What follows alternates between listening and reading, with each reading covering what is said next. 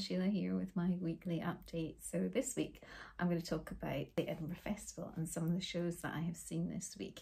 So of course had to go to the Grayson Perry Smash Hits show, um, which is quite bombastic. It's big, it's colourful, it's loud, it's um, really in your face in a, in a good way, but it was very, very busy. So I do want to go back because it was quite difficult to see everything that I wanted. But um, yeah, interesting. Um, and the scale, I think the scale of the tapestries particularly um, was quite something.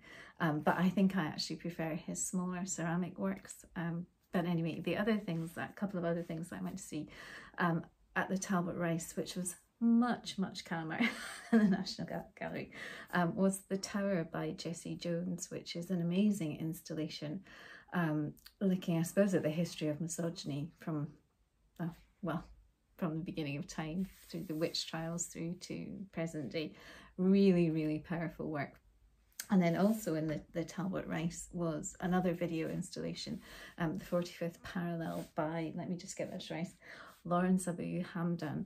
Now that was just um, really thought-provoking as well, three different stories about um, migration, um, about identity and power really really powerful. Um, and I also went to see um, the Scottish women artists at the Dovecot which um, I'll talk about another time but lots to see but I have to go back and see more. But that was my um, my week this week. Hope you're all keeping well and I'll catch up with you again very soon. Bye for now